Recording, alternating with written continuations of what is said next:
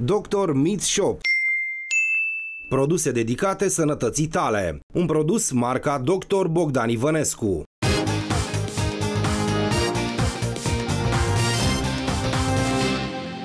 Bine ați venit la Dr. Mit.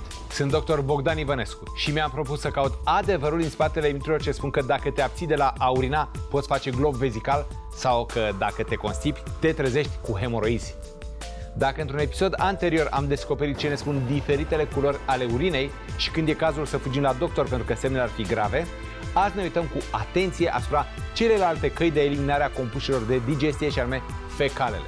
Fecalele sau scaunul, denumirea mai populară, sunt rezultatul mâncării ce a trecut prin tubul digestiv și din care s-au extras aproape toate substanțele nutritive. Analizele coprocultură și coproparazitologic completează examenul aproape organoleptic al masei fecale care ar fi însă cea mai importantă caracteristică a scaunului atunci când un medic se apleacă asupra acestuia. Culoarea, consistența, mirosul sau nu se poate face o departajare între aceste repere. Real vorbind, toate sunt la fel de importante și vom vedea de ce. Haideți să începem de la culoare. Scaunul de culoare maro cu variații de ton a culorii este normal. Culoarea maro este rezultatul combinării între bilă și bilirubină la nivel de intestin. Scaunul de culoare albă sau gri indică o lipsă de bilă la nivel intestinal. Aceasta se poate datora unei proaste funcționări a ficatului ori a bilei. Dacă este să ne gândim la bilă, aceasta poate fi plină de pietre, ce se traduce fie prin durere abdominale atroce, fie prin lipsa completă a acestora, ceea ce face diagnosticarea cu atât mai dificilă. Dacă ne gândim la ficat, acesta poate fi afectat de o hepatită, ori de o ciroză hepatică, ce poate produce distrugeri irreversibile. De aceea, când acest scaun se repetă 3 zile la rând, e musai să mergeți la medic pentru că detecția timpurie vă poate salva viața.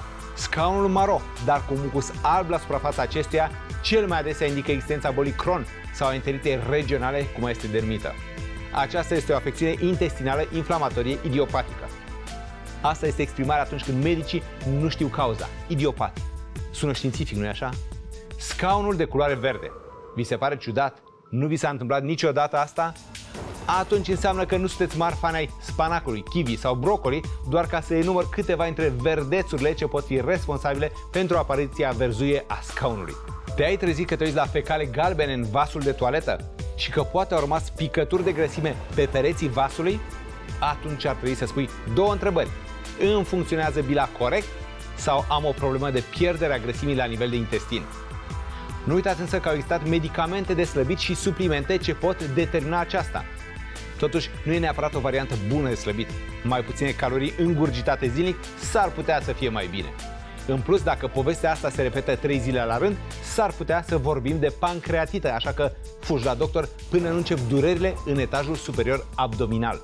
Dacă nu iei suplimente de fier, aspirină și ibuprofen cu pumnul și scaunul tău e negru, atunci s-ar putea să fie grav pentru că vorbim de hemoglobina digerată în intestine, deci de sângerare pe undeva pe tractul digestiv.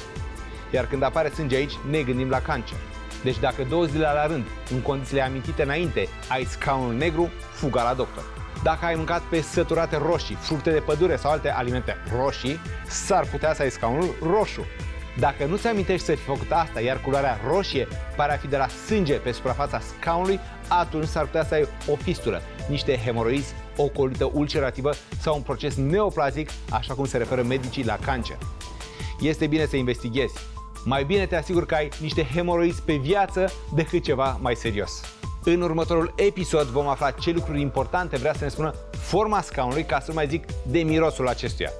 Oricât de dezagreabile ar fi aceste subiecte, ele ne-ar putea salva viața a noastră sau a copiilor noștri.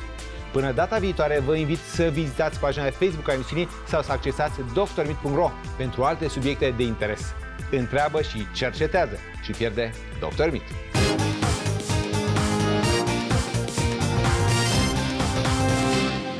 Dr. Meat Shop Produse dedicate sănătății tale. Un produs marca Dr. Bogdan Ivănescu.